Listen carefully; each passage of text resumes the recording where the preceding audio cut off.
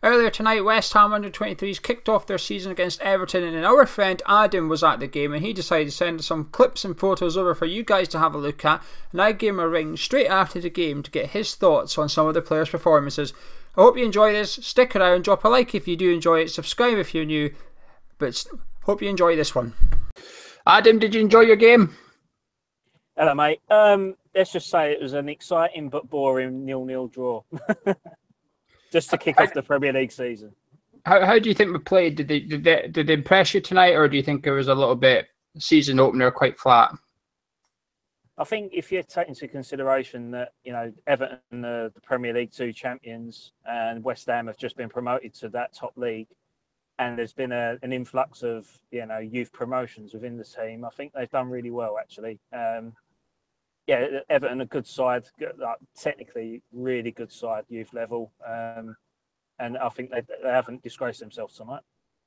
Um, a few players that everybody will be wanting to know how we got on, and um, we'll start with the first one, which we knew was going to be playing tonight. He's coming back from injury, hammer of the year last year, Michail Antonio. How do you felt he did tonight? Did he come through unscathed?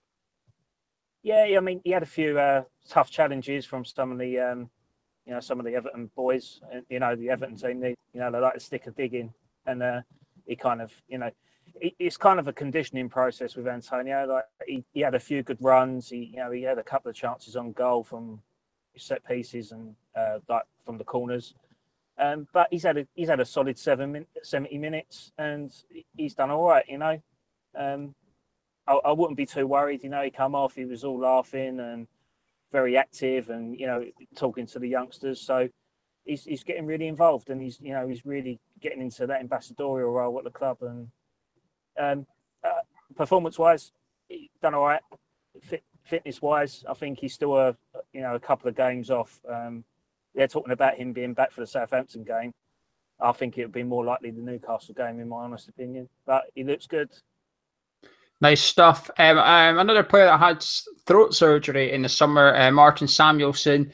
Um, how did he do? Uh, um, it's quite. I don't know what to make of him. I mean, he, he still looks like a 14 year old boy. um, he's, he's got such a slight frame, but he's so good on the ball. He's really good.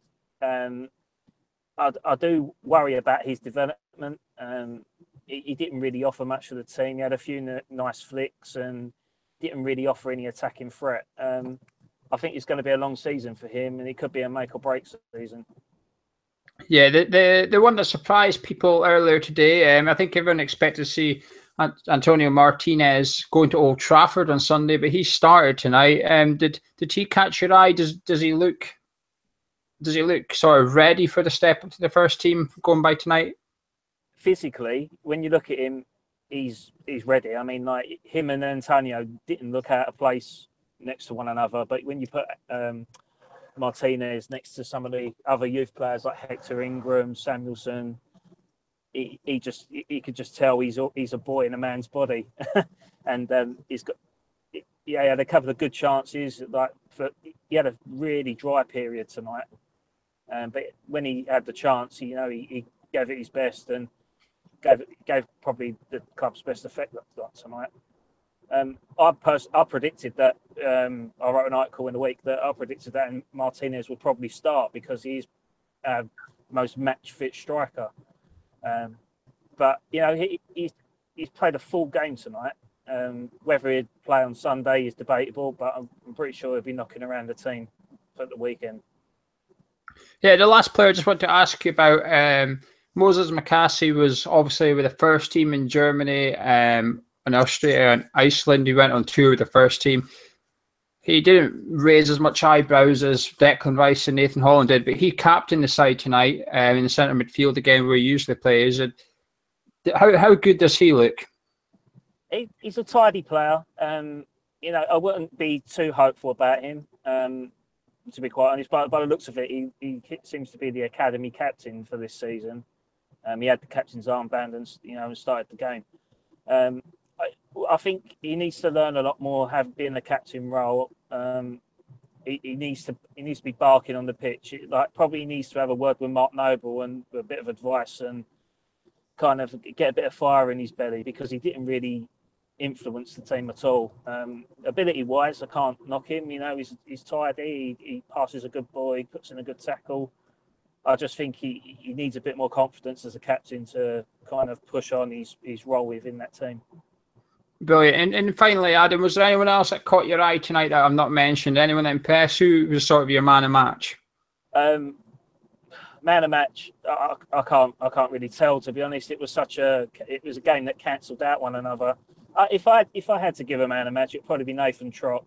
Um, there was a couple of chances that Everton uh, had had some clear chances on goal, and Nathan Trott, you know, pulled off some fantastic saves and looked very very comfortable in goal. Again, he needs to be speaking a bit more, and probably he needs to have a word with Joe Hart. Um, he would be my man in the match. But another player that does look um, that does look promising is uh, Henry, who's just been promoted from the academy. I uh, his first name um, has gone past me.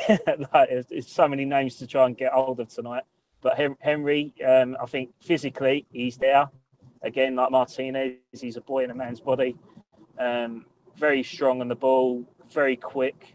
And I was talking to a few of the guys over at uh, Dagenham Redbridge today, and he's been playing a few games um, during the pre-season and has, has looked very sharp and has had a hand in a few goals. So if there was one to watch in the academy this season, it, it'll definitely be Henry.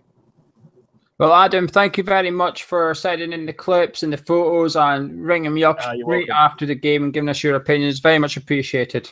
No worries. I'll give you my phone bill later for all the data I've used. Cheers, Adam. Thank you. Well, massive thank you to Adam there for calling in straight after the game as he went over to Dagenham to catch the 90 minutes for the under 23s as they kicked off their season against the reigning champions. Um, Corey Henry was the player he was trying to think of. Um, he couldn't think of the first name. It was Corey Henry, not Doneil Henry, not the Canadian that was signed under Sam Allardyce.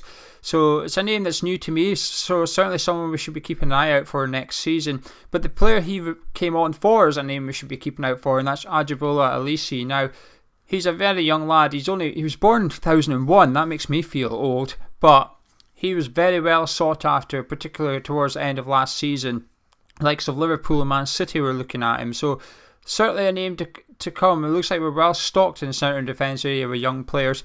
In the closing stages of that game, Connor Coventry got a second yellow card for blocking a free kick and got sent off. But anyway, that's our first ever video on the 23s, believe it or not. But if you've enjoyed it, please drop a like on it and comment below because if you want to see more stuff from the 23s, you need to let us know. It's certainly something we've never tried before.